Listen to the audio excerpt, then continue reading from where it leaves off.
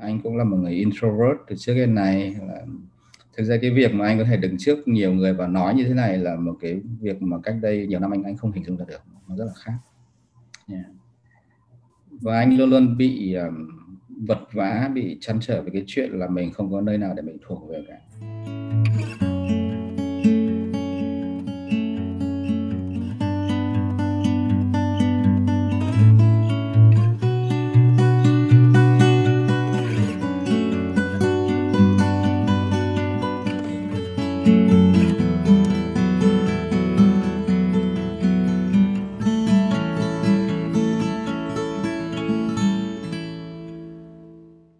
Chào tất cả mọi người.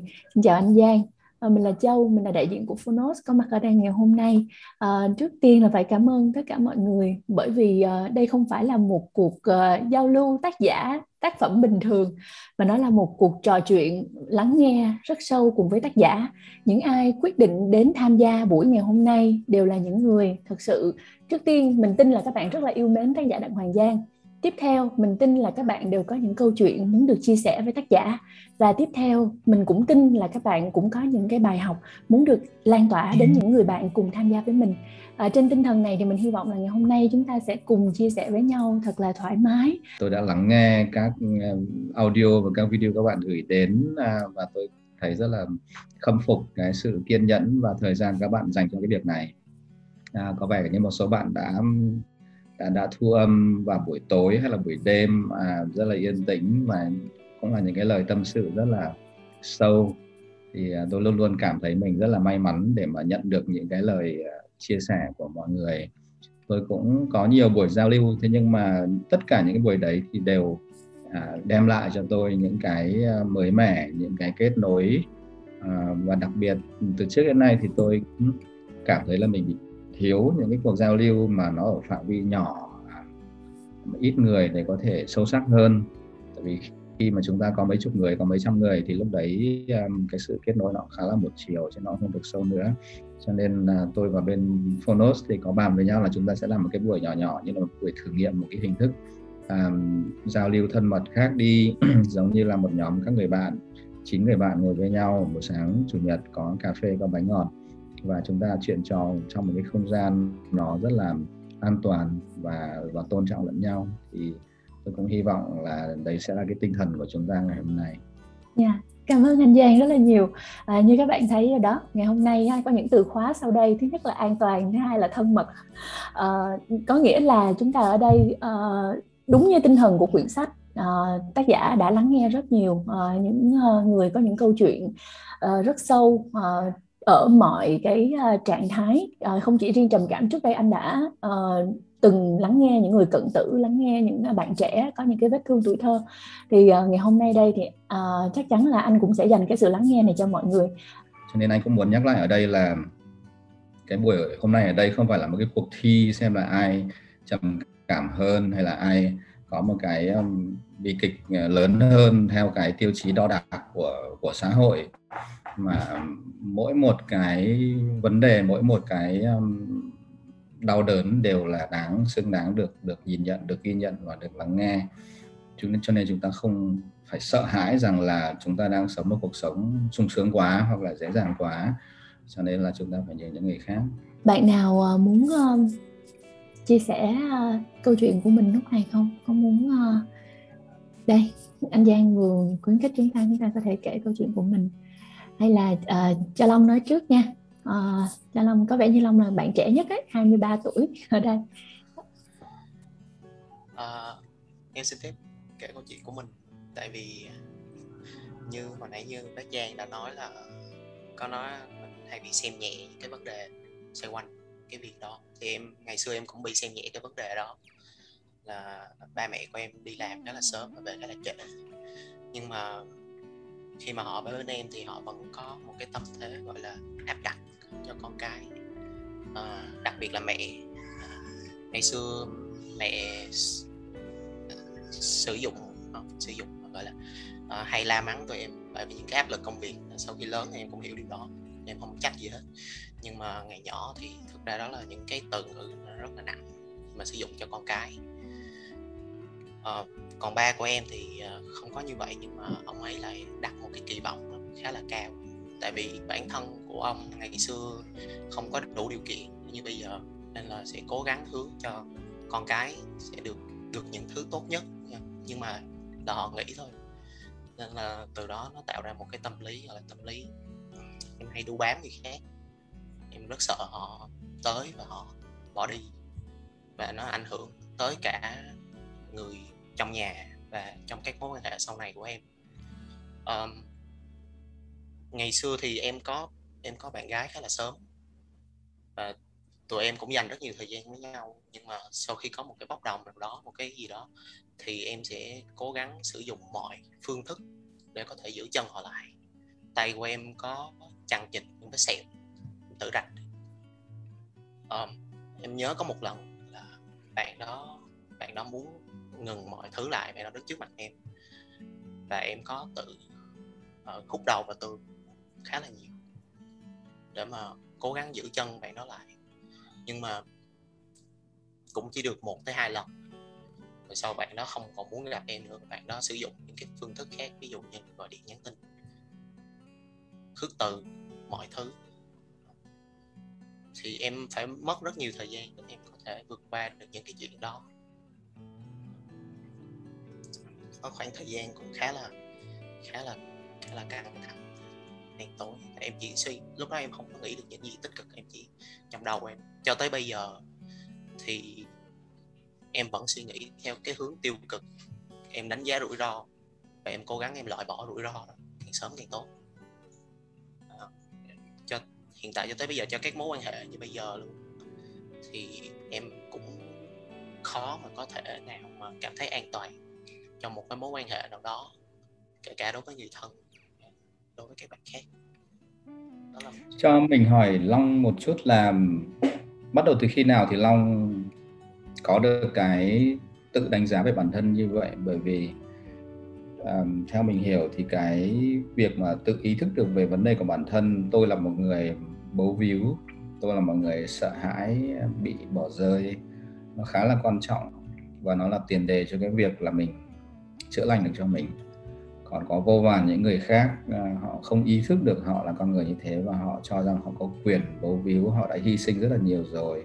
Nhưng bây giờ con cháu hay là chồng con họ cần phải phục vụ cho họ không được bỏ đi nơi khác nếu không thì sẽ bất hiếu hay là cái gì đấy và họ sẽ vẫn tới rất là nhiều những cái uh, quy chuẩn về đạo đức để họ biện hộ cho cái sự bấu víu cái sự bị uh, lo lắng bị bỏ rơi của họ. Nhưng mà ở long thì có vẻ như em đã nhận ra được cái vấn đề của mình mình đã tự nói được với bản thân mình là mình có vấn đề.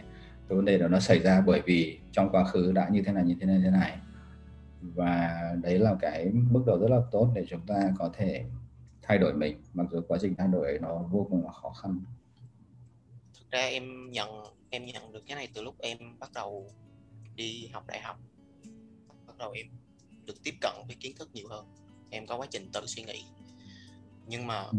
cho hiện tại cho tới bây giờ thì như bác Giang đã nói thì cái quá trình mặc dù em nhận ra được nhưng mà em vẫn không từ bỏ nó được cho tất ừ. cả các mối quan hệ gần đây thì cái sự bấu víu vẫn xảy ra ừ. Ừ. dù cho bất kỳ ừ. ai bất kỳ người nào thì em vẫn ừ. muốn tìm một cái chỗ để em có thể bấu víu vào em không muốn họ rời đi ừ. yeah. Dạ, yeah, như mình đã nói thì đây không phải là một cái câu chuyện đơn giản um, và có lẽ mình sẽ cần đến sự trợ giúp của một nhà chuyên môn nào đấy một quá trình trị liệu lâu dài. Mình cần đọc nhiều hơn sách vở và mình vẫn tiếp tục thực hành cái việc um, lắng nghe bản thân mình quan sát bản thân mình. Xem là khi nào mà cái mong muốn bầu víu cái sự sợ hãi nó trỗi dậy thì mình dịu dàng với nó mình ôm ấp nó và mình uh, nói với nó rằng uh, thực ra à, thực tế không phải là như vậy. Mình không phải là vô giá trị người ta không phải bỏ rơi mình mà mọi cái sự chia tay nó đều à, có thể xảy ra. Mình vẫn có cái giá trị của mình à, vẫn có người khác để yêu thương mình. Trong cuốn đại dương đen thì có một phần khá là quan trọng nói về à, liệu pháp nhận thức hành vi. Và khi mà mình đọc cái tài liệu và viết cái chương đấy thì mình cũng học được rất là nhiều cho chính bản thân mình ở đâu đấy trong cái tầng dưới nhận thức của mỗi một cá nhân đều có những cái niềm tin méo mó, những cái bẫy về nhận thức. Như là mình không có cái giá trị gì cả hoặc là không ai yêu thương mình hết, cho nên là nếu một ai đấy bỏ mình đi thì đấy là một cái lần khẳng định tiếp theo là mình không có giá trị gì cả và không ai yêu thương mình cả. Cho nên mình phải cố gắng bấu víu lấy cái điều đấy, mình không không muốn nó xảy ra tiếp. Khi mà mình nhận ra được những cái bẫy và nhận thức như vậy thì mình sẽ có cái sự bình tĩnh hơn có khoảng cách tốt hơn để mình nhìn nhận bản thân và thế giới cách nó khách quan hơn à, Long ơi hôm nay em ờ, cảm thấy thế nào sáng hôm nay thức dậy em cảm thấy thế nào hôm nay vẫn là một ngày bận rộn với em nhưng mà ừ. cái chuyện này em cũng giấu được cũng gần 10 năm ừ. em thấy điều đó là điều tốt để được nói ra ừ em không dám, em không dám nói với ai cả. Nếu mà nói với gia đình thì họ sẽ kêu em là thằng ấu trĩ. Em đã học tới bây giờ rồi nhưng mà vẫn không suy nghĩ được những cái thứ đơn giản như vậy. Nói với bạn bè thì họ sẽ họ sẽ có xu hướng là là đánh giá thấp cái việc đó. Kiểu là nó chỉ là chuyện à, về, nó chỉ là chuyện tình cảm thôi. Tại sao lại hành hạ bản thân như vậy? Còn nhiều thứ khác quan trọng hơn một ừ. con người quan trọng như vậy mà tại sao lại làm theo cái hướng đó yeah. kể cả anh nói chuyện với những người lạ ở trên mạng thì họ cũng họ cũng mang thiên hướng đánh giá phán xét nhiều hơn nên là em khó khi nào em có thể tìm được một nơi để mà em nói được những cái này yeah, trong um, nhiều năm trong quá khứ của anh thì anh cũng phải sống trong một cái cảm giác là mình à, rất là bị cô độc bởi vì à, mình quá là khác những người xung quanh. Ví dụ mình làm việc trong lĩnh vực um, kinh doanh và mình không có cùng cái mối quan tâm cùng với họ mình muốn làm việc xã hội mình muốn quan tâm đến nghệ thuật hoặc là tâm lý tinh thần còn họ chỉ quan tâm tới um, các con số kinh doanh um, lãi suất rồi ô tô nhà đẹp vân vân các thứ. Thì cái cảm giác uh, không có cái nơi thuộc về mình không belong không có cái belonging về một nơi nào cả. Khá là khá là kinh khủng. Nhất là khi nó kéo dài. Cho nên có lẽ một điều mà vô cùng quan trọng với chính bản thân mình và mình nghĩ là quan trọng với tất cả mọi người là làm sao tìm được một cái nơi trốn tìm vào một cái tập thể rồi có thể nó rất là nhỏ. À, một cái cộng đồng bé thôi thế nhưng mà ở đấy họ không có phán xét mình rất là nhanh chóng ở tại sao lại nghĩ như thế này tại sao là vì một cái con bé như kia mà lại ờ, cắt tay cắt chân rồi đập đầu vào tường như thế lớn rồi mà không biết suy nghĩ. Đấy là những cái đánh giá rất là độc hại. Nếu như mình tìm được một cộng đồng nhỏ, thì hy vọng là trong thời gian tới long sẽ tìm được một cái nơi trú ẩn cho mình, một cái nơi để mình có thể nghỉ ngơi, mình đến bên cạnh những người đấy và mình cảm thấy là được an toàn, được nuôi dưỡng. Như là mình đứng dưới một cái bóng cây dâm mát chứ mình không phải đứng ở giữa trời nắng trang trang một cái rất là mệt mỏi từ ngày này qua ngày khác nữa ừ. anh Giang ạ là em lúc này thì em lại muốn hỏi anh là tại sao anh lại bắt đầu đi tìm cái cộng đồng đó cho mình à, anh cũng có một cái cái câu chuyện uh, khó nói hay là một câu chuyện đã từng không thể nói được với ai đúng không anh? Cái xuất phát điểm để anh bắt đầu vào hành trình này là gì ạ? Từ ngày xưa thì anh cũng luôn luôn có cái cảm giác mình là một ờ, misfit mình mình không fit vào một cái chuẩn mực và một cái nhóm và một cái ờ, tập thể nào cả. Và đấy là một cảm giác rất là rất là khó chịu. Và anh cũng là một người introvert từ trước đến nay là thực ra cái việc mà anh có thể đứng trước nhiều người và nói như thế này là một cái việc mà cách đây nhiều năm anh anh không hình dung ra được. Nó rất là khác. Yeah. và anh luôn luôn bị um, vật vã bị chăn trở về cái chuyện là mình không có nơi nào để mình thuộc về cả. Mọi cái quan tâm của họ của cái môi trường mình đang sống thì xa lạ với mình và những quan tâm của mình thì xa lạ với họ. Và sau đấy thì không những đổi việc mà còn đổi cả nơi sống. Cụ thể nhất là anh rời bỏ châu Âu một cái nơi mà về mặt vật chất và hạ tầng cơ sở và phúc lợi xã hội thì vô cùng là tuyệt vời hoàn hảo. Và anh trở về Việt Nam à, sau đấy thì ngoài cái việc đổi chỗ ở ra, nơi trốn ra thì còn đổi cả lĩnh vực làm việc, tức là dừng cái lĩnh vực công nghệ thông tin, là nơi mà anh đang có một công việc rất là tốt, rồi phó giám đốc, rồi lương cao, làm việc với nước ngoài vân vân các thứ, chuyển sang làm hoạt động xã hội ở lĩnh vực phi chính phủ, vân vân. Thì đấy là một cái quá trình rất là dài mà anh đi tìm chính bản thân mình. Cho nên về sau này anh rất là có một con mắt uh, chú ý đặc biệt tới tuổi trẻ bởi vì anh đã từng giống như họ. Và anh biết rằng hiện nay sau một thế hệ thì có rất nhiều rất nhiều người cũng đang chăn trở như vậy qua cái chia sẻ của anh Giang rồi của Long và mọi người lúc nãy thì mình thấy là uh, ai cũng sẽ trải qua một cái giai đoạn nó rung lắc dữ dội trong cuộc đời của mình và lúc mà mình rất là hồ nghi bản thân. Và những ai may mắn thì bên cạnh có người thân bạn bè hay là một cái nhóm mà mình cảm thấy là mình được uh, thấu hiểu. Còn uh, rất nhiều người khác uh, ví dụ như câu chuyện của Long vừa mới chia sẻ với chúng ta chẳng hạn thì uh, uh, nó sẽ khó khăn hơn một chút nó sẽ mất nhiều thời gian và cần nhiều cái sự uh, trợ giúp ngoại lực hơn. Như lúc nãy anh Giang có nói thì câu chuyện nào cũng xứng đáng được lắng nghe hết. Ở đây có ai có những cái câu chuyện mà hồi đó tới giờ mình chưa có kể cho ai nghe được hết á. Uh, mình không dám kể hay mình cảm thấy nó không xứng đáng để kể. Ngày hôm nay mọi người có thể kể ra. Ừ. Uh-huh. À, hay là mời chị Nguyên đi. À, cái chuyện mà đấy từ cái hành trình mà để chị bây giờ từ một cái người mà rất là gọi là không có nhận thức được rõ ràng về bản thân á, đổi việc rồi rất là nhiều cái thứ lăng tăng như vậy. Đến bây giờ trở thành một hiêu là một người đi chăm sóc sức khỏe tinh thần cho người khác. Thì à, cái cái hành trình đó như thế nào? À, mới gần gần rất là gần đây á nguyên mới à, nguyên mới ngồi ghi lại.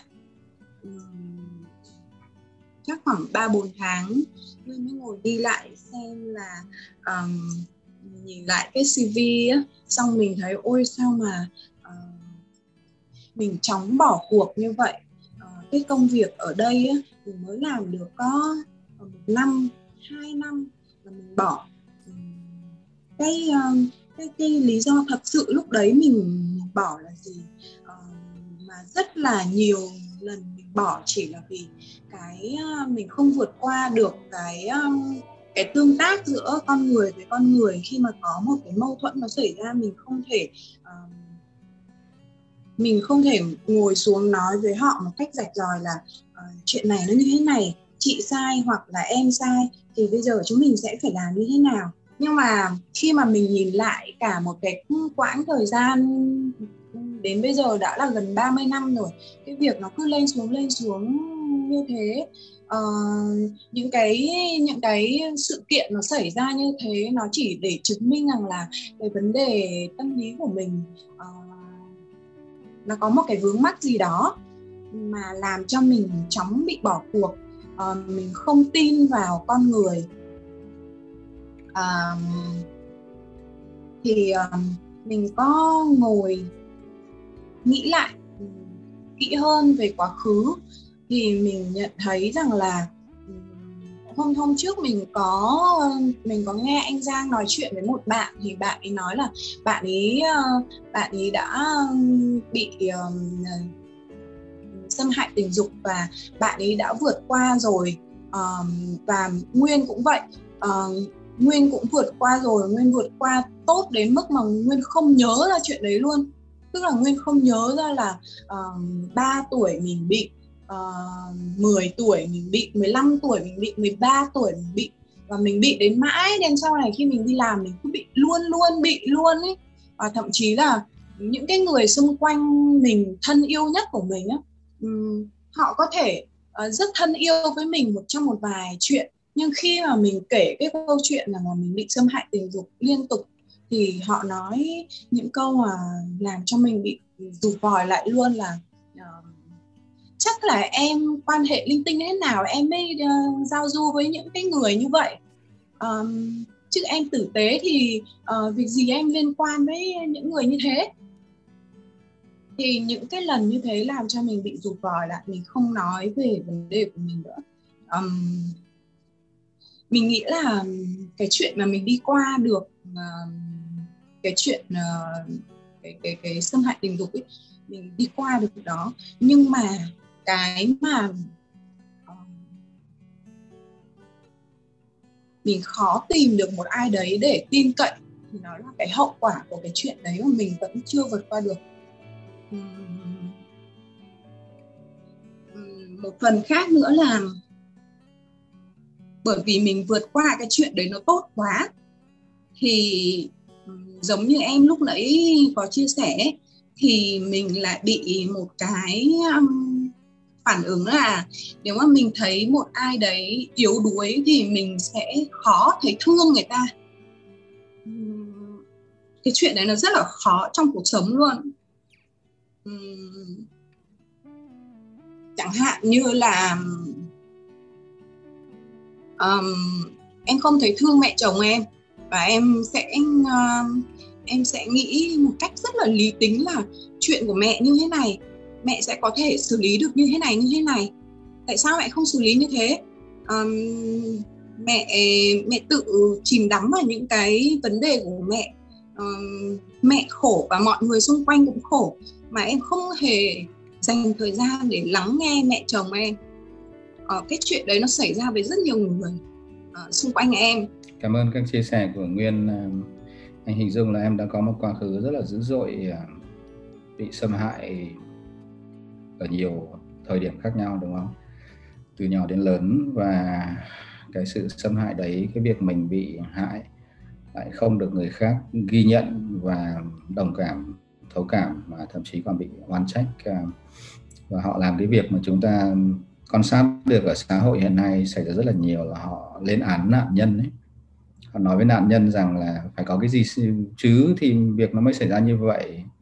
Họ nói với cái cô gái bị hiếp dâm là chắc là ăn mặc à, hở hang đâm ra bị hiếp dâm. Họ nói với người bị um, cướp um, đồng hồ vàng ở ngoài đường là tại vì đeo vàng ra ngoài đường nên bị cướp.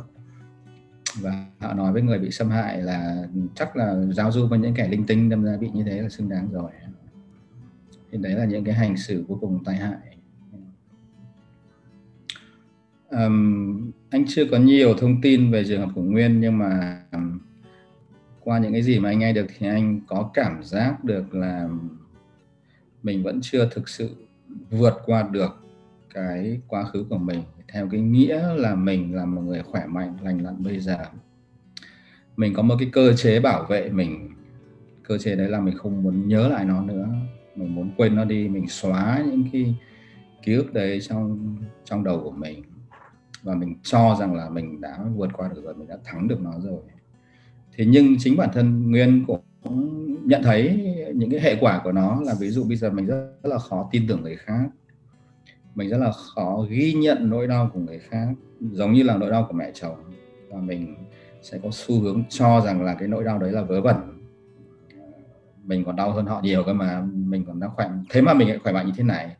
Thì cái vấn đề của mẹ chồng đáng nghĩa là phải giải quyết được tại sao bà lại làm to chuyện thế làm gì? Và đấy cũng là cái phản ứng mà rất nhiều người khác đã phản ứng với nguyên như vậy, đúng không? Ờ, hồi nhỏ thì bị xâm hại, thế nhưng mà bây giờ mình lớn rồi cơ mà, chuyện qua rồi, có gì đâu mà phải làm to tát lên. Tức là mình đang hành xử như là mình đã bị hành xử bởi người khác, bởi vì cả mình lẫn họ đều chưa vượt qua được những cái nỗi đau đấy. Cho nên anh nghĩ là để mà mình muốn thoát khỏi cái cơ chế tự vệ hiện nay của mình một cái sự tự vệ nó cho phép mình có thể là ăn ngủ bình thường, đi làm bình thường, có chồng có con. Nhưng mà sâu trong lòng nó vẫn không cho phép mình thực sự là hạnh phúc. Và xây dựng những cái tương tác liên cá nhân nó khỏe mạnh và nó bền vững, thì chắc là mình vẫn phải quay lại với quá khứ. Ờ, mình vẫn phải thực sự nhìn sâu vào nó và giải phóng mình ra khỏi nó để mình thoát khỏi cái bóng đen của nó, thoát khỏi những cái hệ lụy của nó, để mình có thể tin tưởng được một người khác để mình có thể lắng nghe được một người khác, để mình có thể ghi nhận được nỗi đau của người khác, mà không ngay lập tức có một sự so sánh với nỗi đau của mình và cho rằng là cái người kia không đủ à, thẩm quyền để mà đau đớn bởi vì mình còn đau hơn. Và có lẽ là chừng nào mình chưa khỏe mạnh hơn thì cái việc mà lắng nghe, trợ giúp người khác nó sẽ gặp nhiều khó khăn. Bởi vì trong mình sẽ luôn luôn trỗi dậy những cái định kiến, những cái đánh giá, những cái phán xét, những cái so sánh tất nhiên là không phải nhà tâm lý học nào hay là counselor nào cũng là cái người mà khỏe 100% về mặt tinh thần. Thế nhưng mà càng khỏe thì nó càng giúp đỡ được công việc, đặc biệt là công việc này. Thì à, mình có thể làm, tự làm qua kiến thức sách vở. Mình có thể đến một cái chuyên gia nào đấy mà mình rất là tin tưởng vào họ và mình biết rằng họ rất là giỏi và rất là lắng nghe và mình sẽ kiên nhẫn và dần dần mình tiếp cận cái quá khứ đấy. Mình nhìn vào cái đứa trẻ là mình lúc 3 tuổi, lúc 5 tuổi lúc 15 tuổi mình kết nối lại với cái đứa trẻ đấy mình không vui dập cái đứa trẻ đấy ở dưới hầm mình không mình nhốt cái đứa trẻ đấy ra mình không muốn nhìn thấy nó nữa. Bởi vì mình nhìn thấy nó nghĩa là mình thấy đau đớn. Mình sẽ phải mở cái cái cửa hầm ra mình đến mình gặp cái đứa trẻ 5 tuổi đấy gặp cái đứa trẻ 15 tuổi đấy. Và mình lắng nghe cái tất cả những cái sự khóc lóc và sự đau đớn của nó.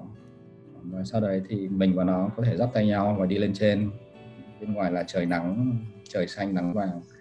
Đấy là một quá trình nó, nó khá là đáng sợ bởi vì rất là ít người có thể dám đi xuống dưới hầm để mà mở cái cánh cửa khủng khiếp đấy ra. Nhưng mà chừng nào mà mình còn nhốt những cái đau đớn đấy ở dưới hầm thì nó cũng sẽ vẫn còn hành hạ mình. Nó hành hạ mình ở mức tiềm ẩn. Có thể là ban ngày mình không để ý nó, mình đi làm, mình thăng tiến, mình thành giám đốc, mình có nhà mua chung cư.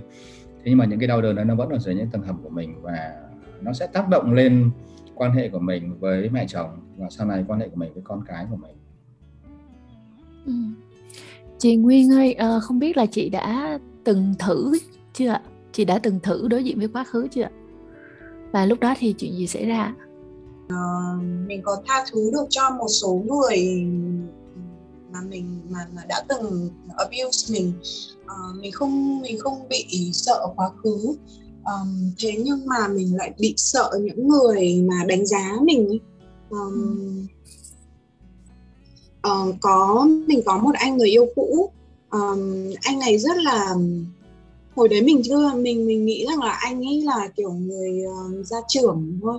Thì khi mà uh, mình có nói chuyện về câu chuyện của mình ấy, thì um, cái reaction của anh ấy quá là kinh khủng khi mà mình um, đến mình còn không nhận ra là cái reaction của anh ấy kinh khủng khiếp đến tận gần đây á. Khi mà uh, covid nó xảy ra ấy thì anh ấy uh, anh ấy anh là người yêu cũ. Anh ấy gọi điện anh ấy hỏi thăm uh, anh ấy hỏi là uh, ba bố mẹ có khỏe không có có tiêm được không? Nếu mà không tiêm được thì anh ấy sẽ giúp đỡ anh ấy sẽ đưa bố mẹ đi tiêm cho.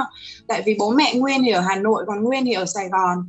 Và với cái với cái quan tâm như thế của anh ấy đáng ra là rất là tốt đúng không? Nhưng mà chỉ vì là cái quá khứ anh ấy đối với nguyên rất là rất là khắc nghiệt.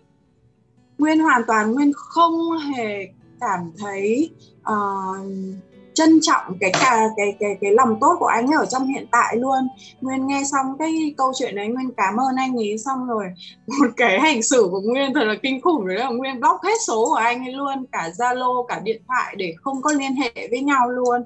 Uh, chỉ vì là nguyên đã rất là sợ anh ấy thôi.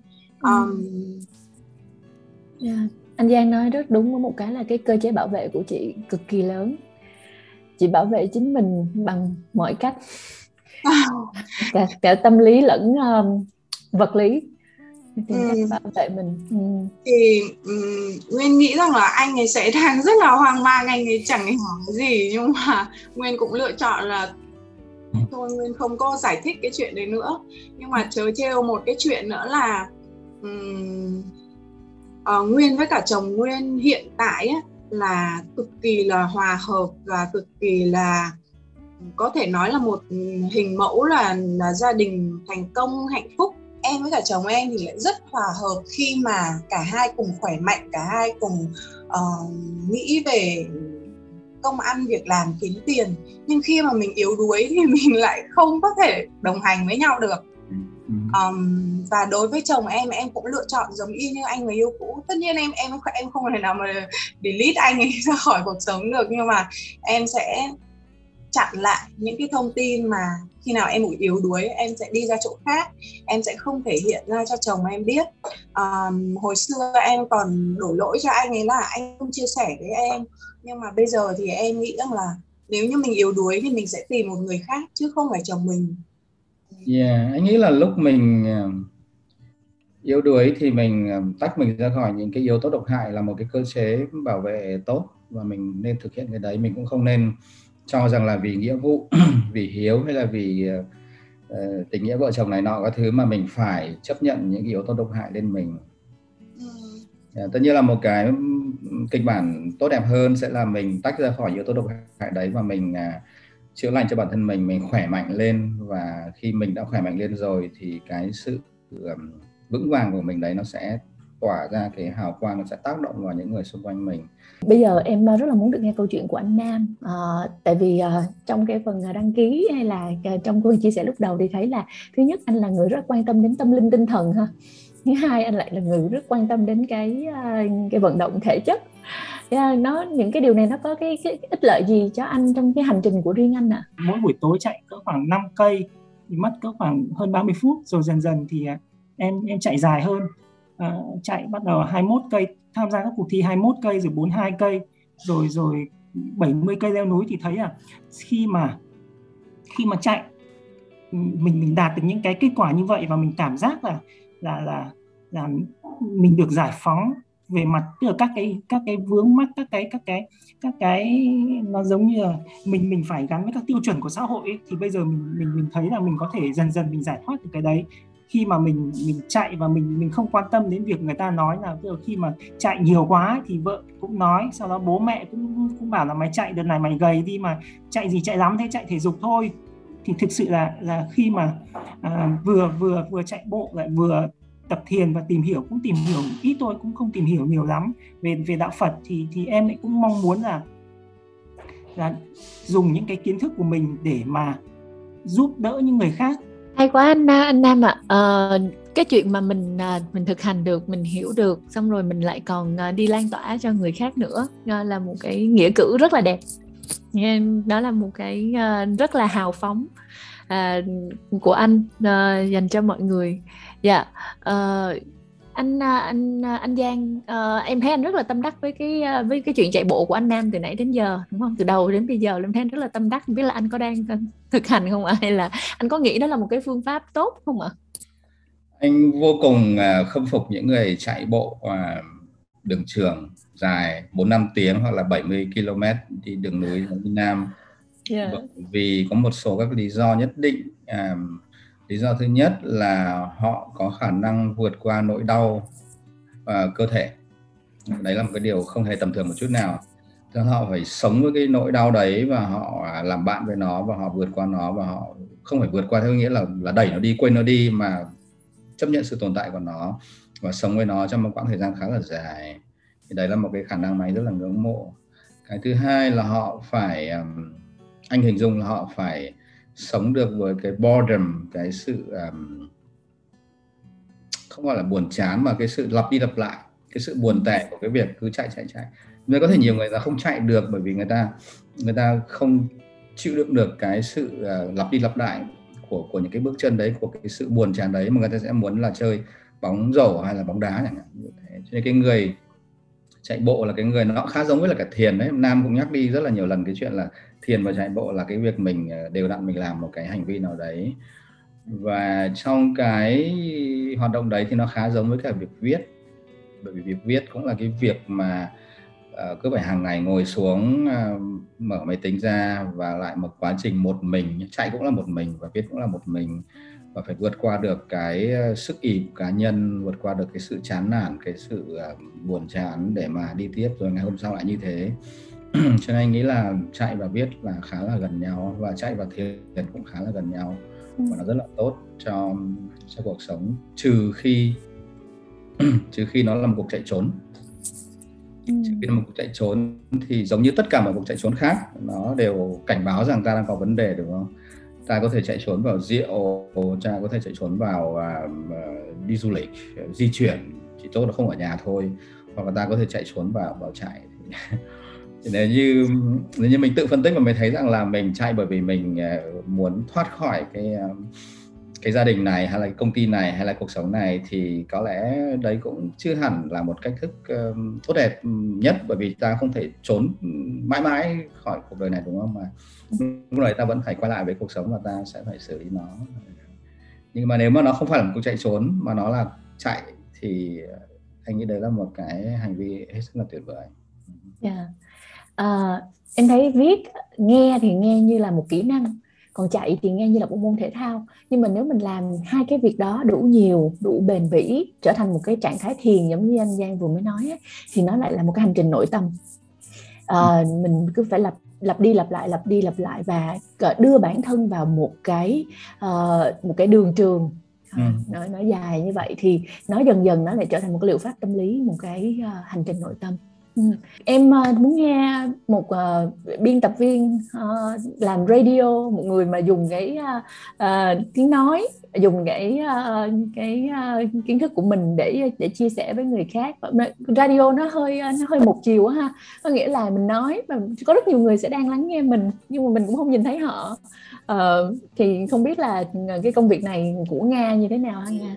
Cái cái ờ, cái trang mà em đang ờ, phụ trách ấy nó là một cái trang dạng mạng xã hội thì mọi người gửi rất là nhiều những cái sáng tác này những sáng tác chuyện ngắn và những cái tâm sự của họ lên đấy. Và thậm chí là có những người họ viết email cho ban biên tập rất là dài để họ chia sẻ cái tâm sự của họ và họ xin lời khuyên.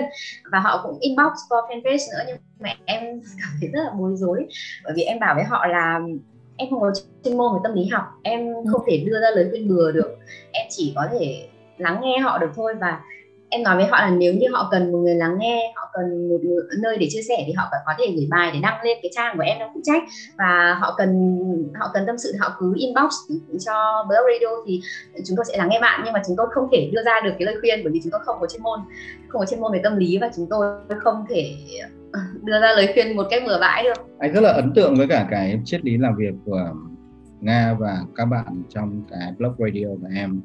Bởi vì 95% người Việt thì kể cả khi người đối diện chưa hỏi xem là lời khuyên là gì thì họ đã nói luôn rồi là bạn phải như thế này, bạn phải như thế kia bạn phải ăn như thế này, bạn phải tập yoga, bạn phải như thế này.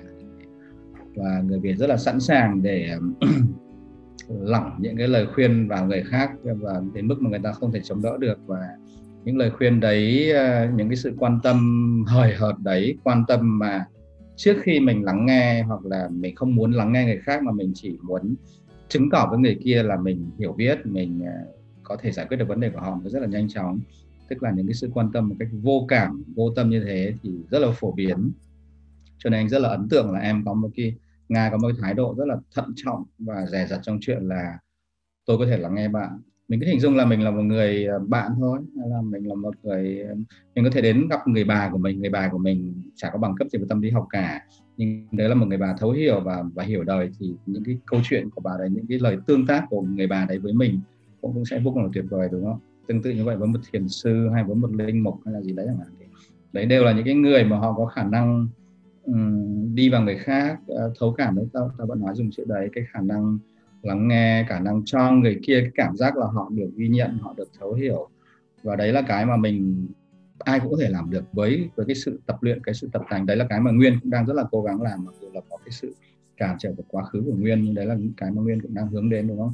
Và cái đấy, anh nghĩ rằng đấy là cái điều mà ai cũng cần phải hướng đến, kể cả bố mẹ, con cháu bạn bè.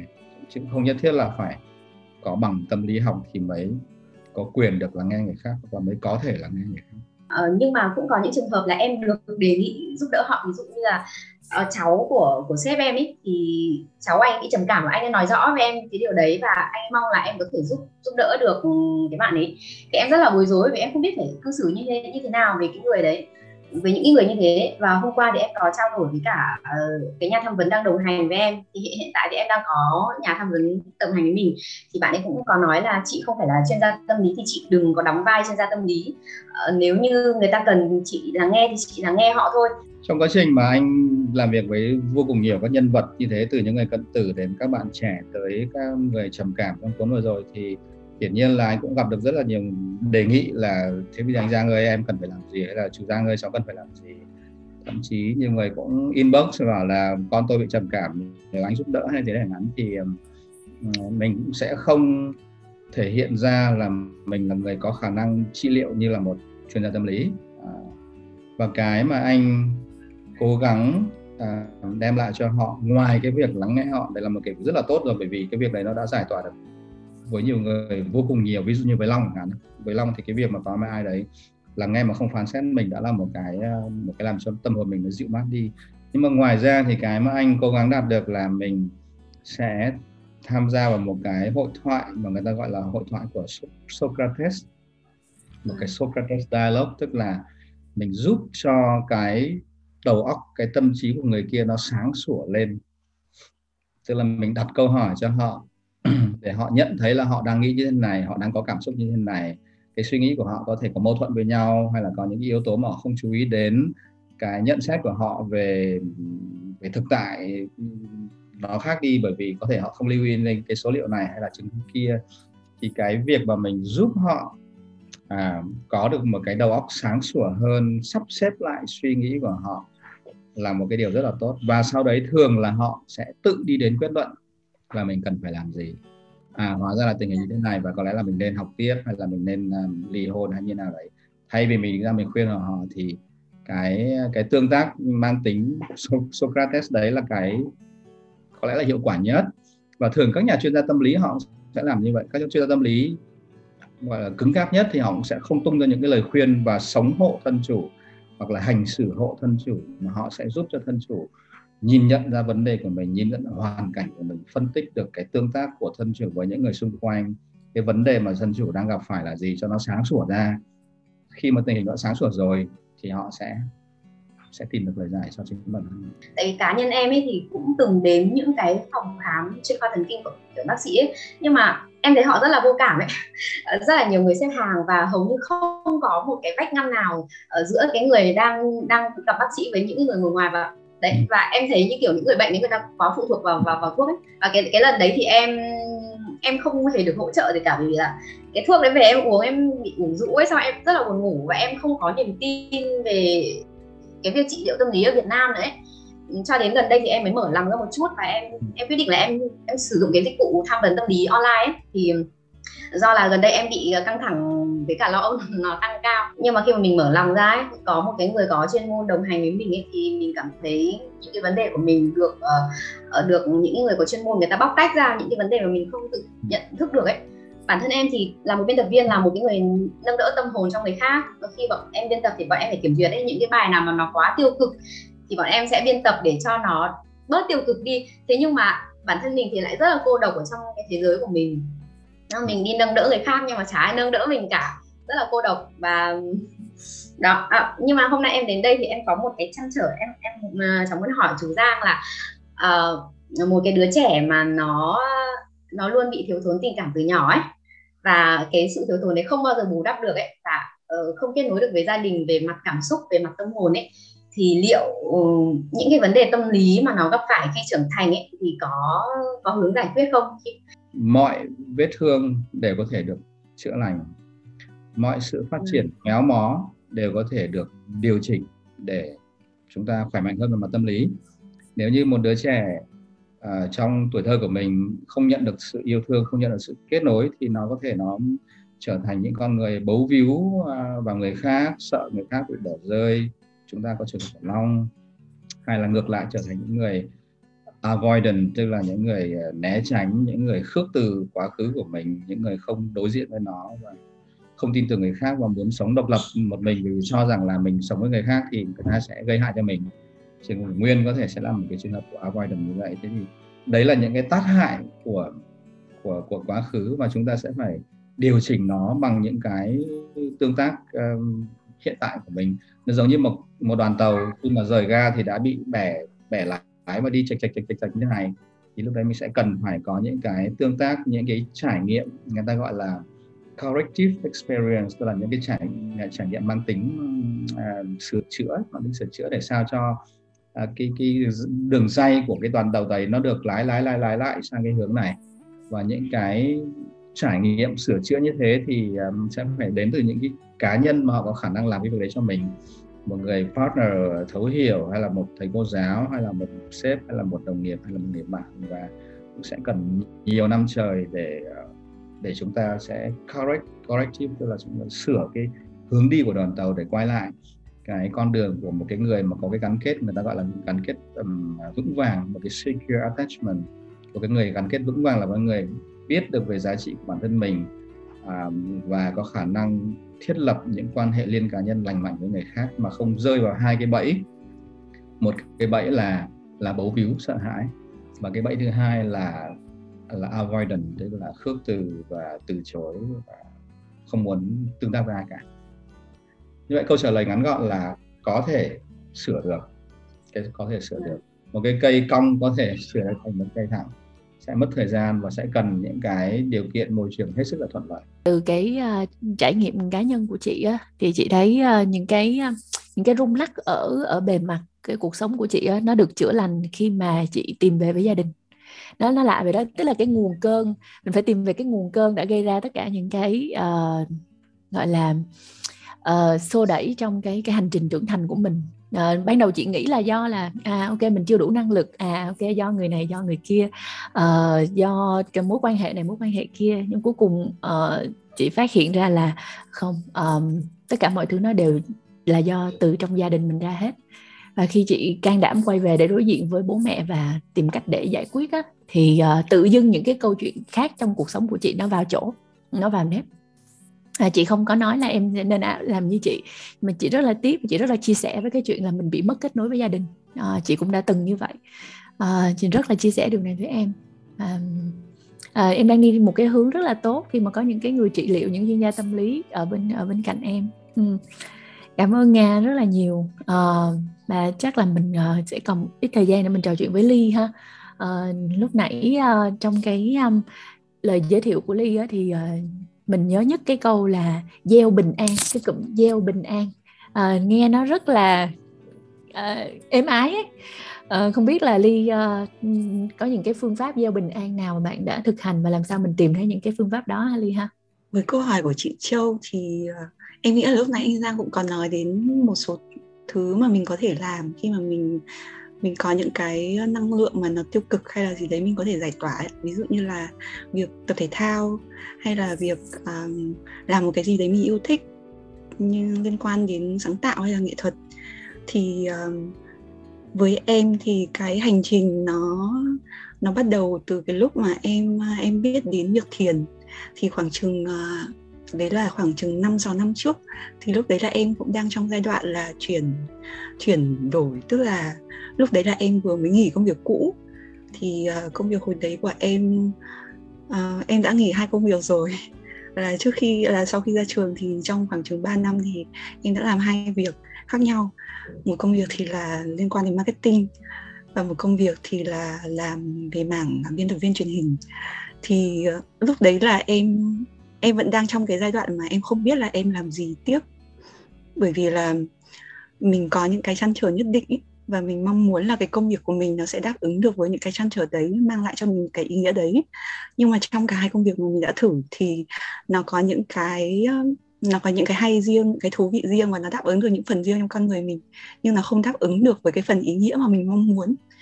Thì lúc đấy thì em nghỉ việc và em em quyết định là em đi khỏi Sài Gòn một thời gian à, tại vì là em cảm thấy là cái môi trường sống của mình nó ồn ào và nó nó có nhiều âm thanh mà mình sẽ không lắng nghe được cái cái cái tiếng nói ở bên trong mà mình đang muốn nói là cái gì. Thì em ra Đà Nẵng à, ở khoảng chừng 3 tháng.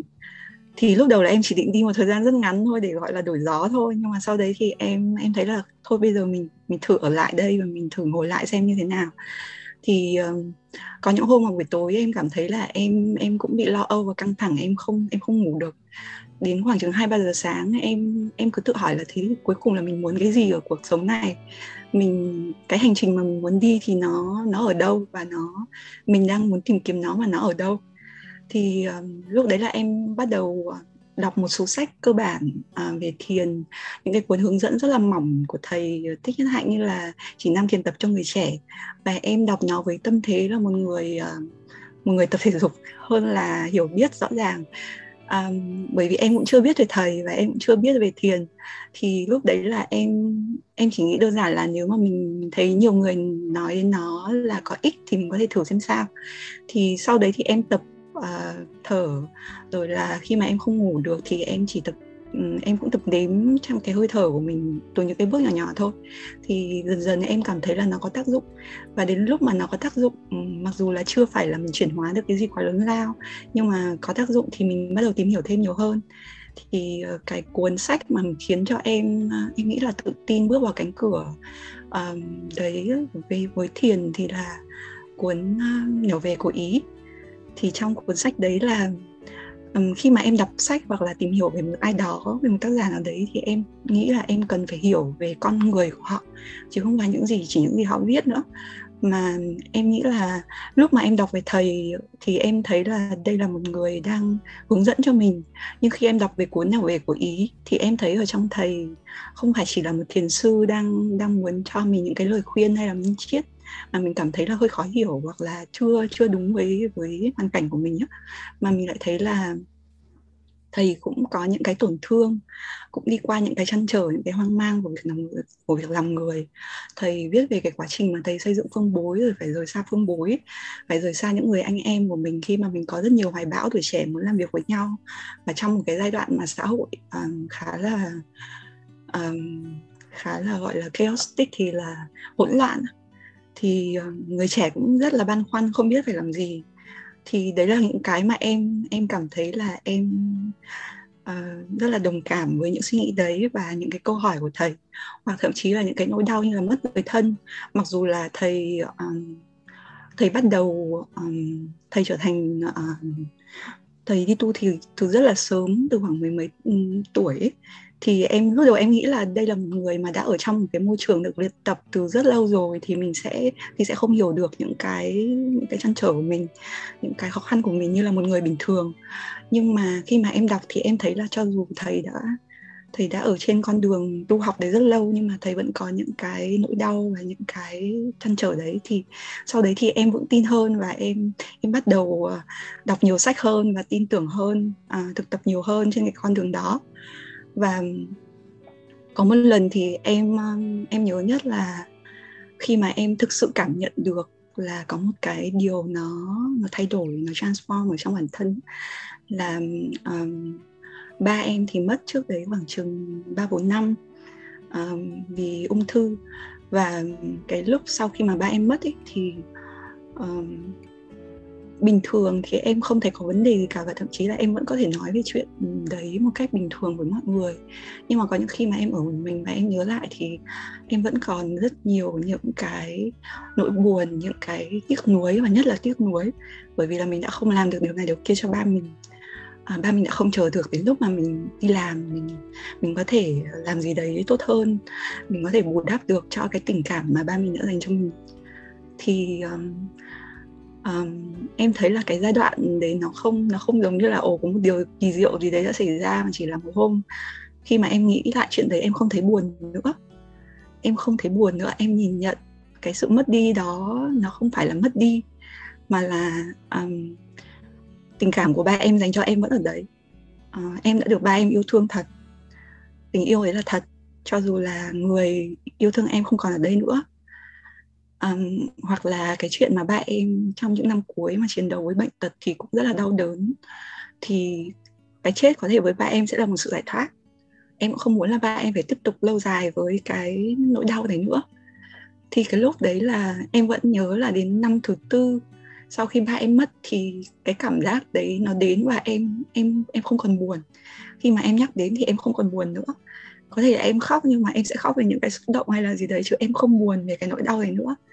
Thì cái quá trình grieving nó khá là lâu dài nhưng mà em nghĩ là khi mà um, mình cố gắng thực tập trong cái trong cái khả năng mình có thể và mình và mình đọc và mình tìm hiểu thêm về những cái những cái minh triết những cái mà mà mà thầy có thể trao truyền được cho mình thì mình dần dần ở đâu đấy cái hạt mầm của cái sự an yên bình an ở trong mình nó cũng được nảy nở.